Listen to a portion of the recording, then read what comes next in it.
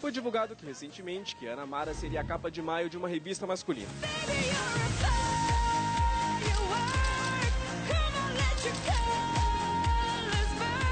É, mas parece que essa história não procede. E Ana Mara não vai tirar a roupa enquanto não valer a pena.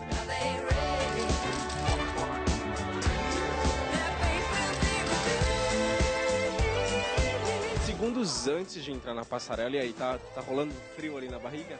Na realidade, não, assim, desde que eu saí do BB10, né, eu tenho trabalhado com Precisa VIP, campanhas publicitárias e desfiles. Embora desfile dá um frio na barriga, aquele medo de escorregar na passarela, cair, mas a gente dá uma brinca, uma brinca finge que tava no script, que tá tudo certo. Levanta, ai gente, caí, beijo, me liga, me segue no Twitter.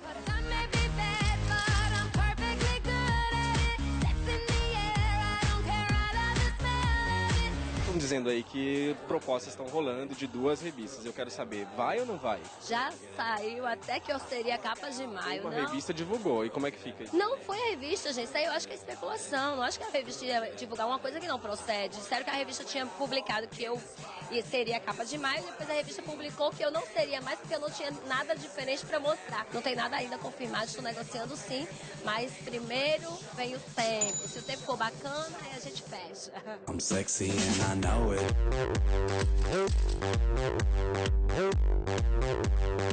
Hoje eu vi uma história que eu falei, eu vou guardar esse trecho que eu tô ouvindo agora pra, pra usar na hora da entrevista. Que história é essa de que olharam pra você e viram a Cléo Pires? Tava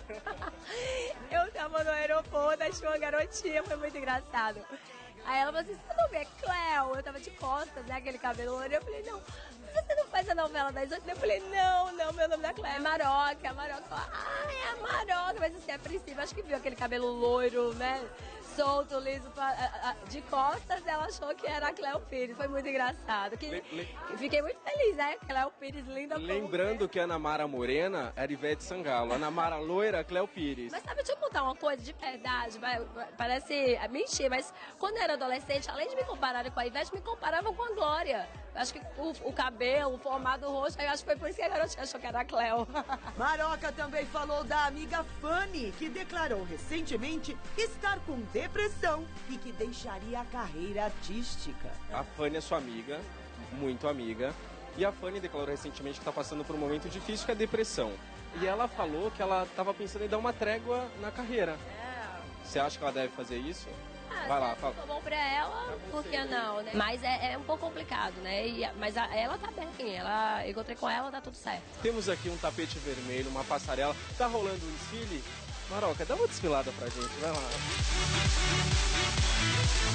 Peraí, peraí. Gente, a Maroca pode ou não pode dar uma desfiladinha? Viu só? Vai lá, Maroca.